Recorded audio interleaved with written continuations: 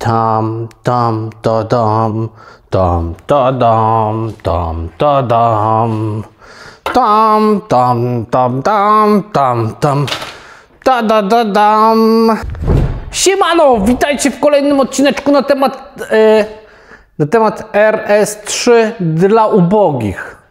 RS3 dla ubogich, dla biedaków, czyli robienie z Audi zwykłego A3 8P takiego, e, no nie, nie powiem, że RS-a, ale naprawdę niezłego zapierdzielacza i takiego ultra, ultra ultimatywnego sliperka. To, to na pewno osiągniemy. W dzisiejszym odcinku prace mechaniczne nad projektem. Zobaczycie rozkręcone, ja tam porozkręcam, co porozbieram, co będę wymieniał, wszystko na bieżąco zobaczycie. Zapraszam Was do oglądania tego odcineczka i pamiętajcie na początku łapka w górę, subskrypcja, jeśli nie subujecie i wbijajcie w opis w sklep profesora po różne rzeczy i też ofertę sklepów wzbogaciłem o różne części, które montuję na przykład w tym samochodzie, więc jeśli widzicie ten projekt, coś tu powstaje, jakieś części widzicie, to wrzucam je do sklepu, żebyście mogli łatwo sobie znaleźć i nabyć. Do, do, do, do dzieła. Nie ma miękkiej gry, moi drodzy. Przód się rozleciał już. Rozleciał się. Tam leży sobie, tam leży sobie zderzaczek. E, fajnie to wygląda. Wiecie, co mi się podoba? E, wszystko oryginał. Wszystko oryginał, przód nietykany, nikt tu łap swoich nie sadził. Jest ładnie. Jest ładny, oryginalny stan. Zrzucam teraz jeszcze pas przedniej, chłodnicę rozbieram, klimę rozszczelniam. Albo nie rozszczelniam, jeszcze to przemyślę.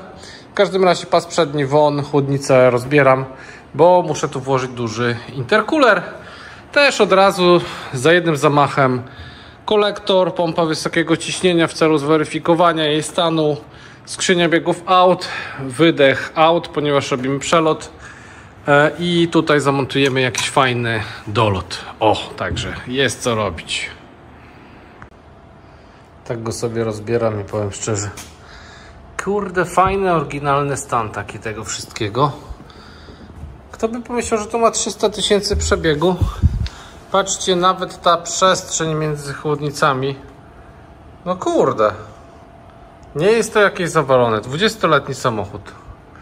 Wszystko części. Proszę bardzo, chłodnica oryginał. Datownik. Pierwszy montaż. I bardzo ładnie się to wszystko trzyma. Tu skraplacz oryginał. Nieźle. Zobaczcie, stary samochód, a jednak nieco zaawansowany. 20 lat już ma ta konstrukcja ponad. I patrzcie, trochę mamy to napchane makaron. Nie jest to taki prosty samochodzik. Kurde, jak ten czas leci. Eee, kolektor ssący, rura z intercoolera, magistrale wodne, pompa wysokiego ciśnienia, którą będziemy zaraz demontować. No i reszta rzeczy, które też będziemy zaraz demontować. Dodatkowa pompa obiegu wodnego. Tam chcemy się dostać, sprawdzić wycieki, co tam się dzieje. Także trochę rozbierania tutaj będzie. Tak to wszystko wygląda. Zaraz dajemy kolektor. I zobaczymy, co nam się dzieje jeszcze pod kolektorem. Szybkie podsumowanie, co my tutaj zostaliśmy. W sumie nic specjalnego, widok standardowy, można powiedzieć. Zaworki. Mhm. Proszę bardzo. Zaworki. Widok standardowy do poczyszczenia. Bez tragedii. Jeszcze zapłony nie wypadały tutaj, na szczęście. Kolektor do poczyszczenia. Pompa wysokiego ciśnienia. I tak będę wymieniał sekcję, ale ona jest brzydka. Mi, powiem szczerze, nie wiem czy to zobaczycie, mi ona się już trochę nie podoba. Ma trochę takich śladów zużycia. Także i tak wejdzie tutaj wydajniejsza sekcja. Klapy zostawiamy, czyli zmienną zmienny dolot. Podstawa filtra oleju idzie nowa. Ten wyciek, który tutaj był, że wszystko jest zalane, to pompa wakum. Spróbujemy uszczelnić. Krzywka. O. Tak to wiecie, to brzydko wygląda, bo ja palcem rozmazuję ten olej na niej.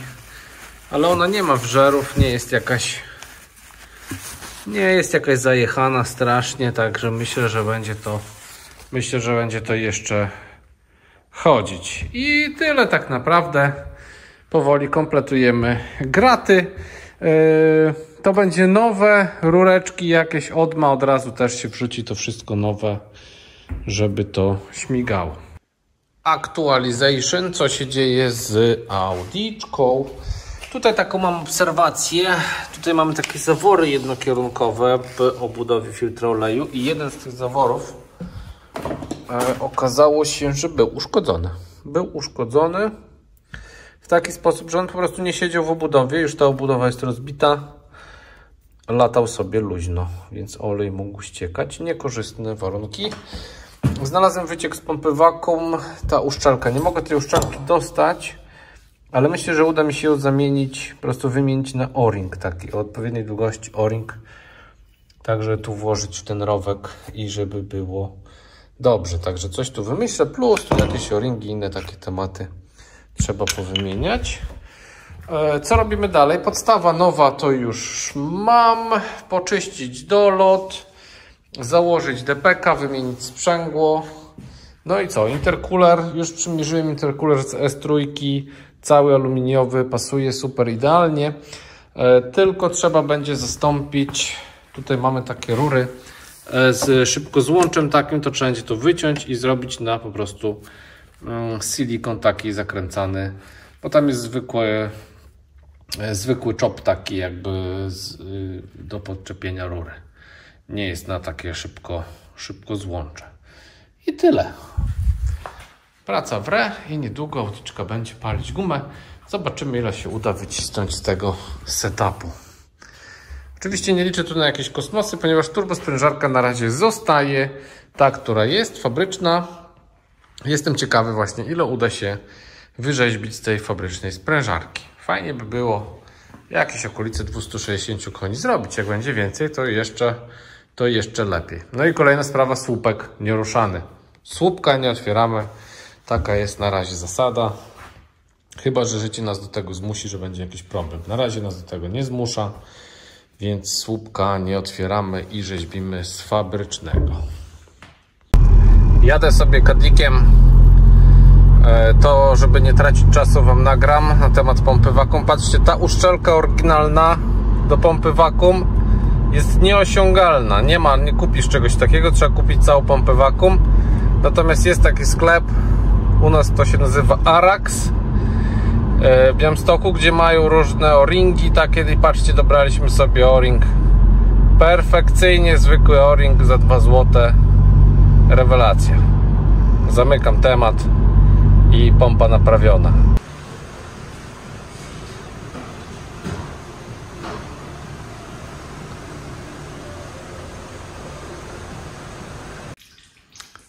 Walczymy ze sprzętem. Olej ze skrzyni został spuszczony. No, tragedii nie ma. Jakiegoś brokatu typowo skrzyniowego. No, troszeczkę może smuży, ale nie jest najgorzej. W każdym razie czarny prosił o wymianę, także czarny. Ciężko pracował. Tutaj chciałbym Wam pokazać kilka rzeczy. Patrzcie, wentylatorek przyszedł do mnie ponieważ on jest do wymiany w tym samochodzie z NRF-a. Widzieliście, w moim BMW też montowałem NRF-a wentylator. To to. No i tak. Chłodnica nowa. Myślę, że warto wymienić, szczególnie, że tamta już jest stara, zdezelowana, zresztą pokażę Wam. Szybkie porównanie. Nowa chłodniczka z NRF-a. Duża zaleta jest taka, że przychodzi to już z nową uszczelką. Tymczasem stara no, już jest zdezelowana. Raz, że ona się tutaj wypacza, traci szczelność. Dwa, że tutaj koroduje po prostu na miejscu styku. Wolę to wymienić. Nie jest to jakiś drogi element. No to skoro przy chłodnicach jesteśmy, tutaj mam skrapacz, który jest w ładnym stanie i nie chcę go zmieniać. Natomiast co chcę zmienić to intercooler. Już Wam pokazuję.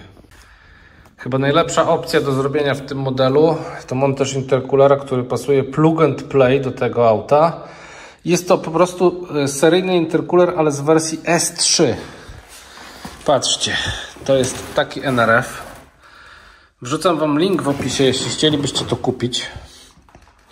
E, oczywiście w sklepie profesora. I patrzcie teraz, jakie są różnice. Przede wszystkim plenum wlotowe, wylotowe, aluminiowe, czyli tutaj też oddaje ciepło. Wszystkie montaże pasuje plug and play, oprócz tego, że tutaj wkręcacie śrubki po prostu M6, natomiast tutaj idą wkręty. Jedyna różnica. E, no i trzeba przerobić, e, ten wąż pasuje, który tu idzie, tylko trzeba go obciąć, tę część zatrzaskową i po prostu nałożyć tutaj na rurę i zacisnąć opaskę, zakręcić opaskę zakręcaną.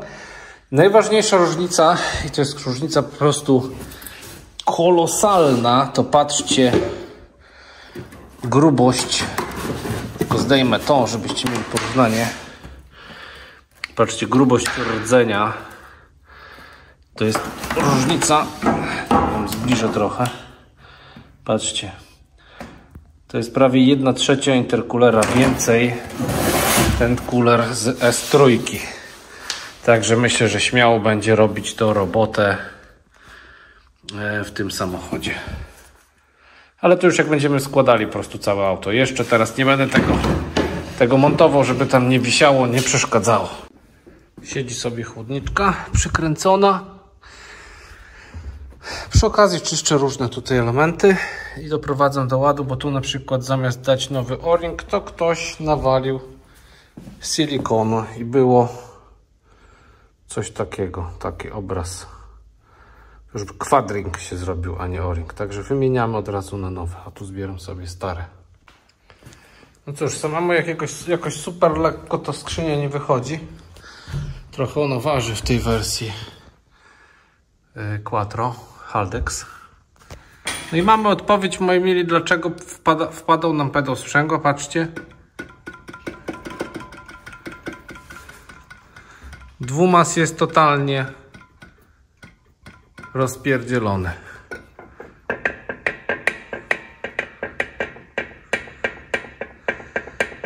Ech, także, kurde, no to będą większe koszty niż wymiana samego sprzęgła.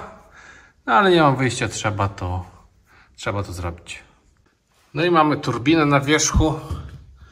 No a skoro już turbina jest na wierzchu, no to wiecie, że grzechem byłoby jej po prostu nie wymienić. Poza tym śrubka jedna się urwała, e, więc tak czy inaczej turbinę dobrze by było wymienić. Spróbuję zademonstrować jak to ten dwumas jest rozwalony.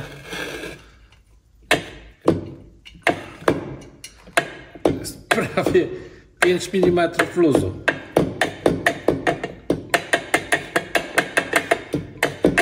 Jest Armagedon totalny. A tak ładnie chodzi. Tak jest super. Tylko tutaj na tej panewce jest rozmiazga dosłownie. Moi drodzy, pora zakończyć ten odcinek. E, podsumujemy, co tutaj dzisiaj się wydarzyło. Mam skompletowane części, e, odma kompletna, jakieś rurki podciśnieniowe. Co tutaj mam? Tam jakaś uszczelka. E, chłodniczka już jest założona, nowa podstawa filtra oleju już jest założona. E, wydech jest zdjęty, wydech będzie downpipe zamontowany. Intercooler nowy jest kupiony. Wentylator nawiewu, chłodniczka. Sprzęgło. Sprzęgło całe kompletne do wymiany razem z kołem dwumasowym. Sprzęgło jest totalnie spalone, zużyte doszczętnie. E, wysprzęglik również do wymiany. Turbo sprężarka do wymiany pójdzie nowe K04064. E, nowe ze względu na to, że nie mam czasu teraz na robienie żadnych hybryd. Ja chcę to, to ma być szybko, raz, dwa, więc biorę nową turbinę, wkładam i nie zastanawiam się. I chyba tyle na chwilę obecną. Tak poza tym nic więcej tu. Aha, dobra, chyba tyle. Krisi, a ta cała góra, cała góra. Pompa uszczelniona, nowe o-ringi do założenia. Pompa. Chcę rozważyć kilka opcji. Albo nowa, nowa.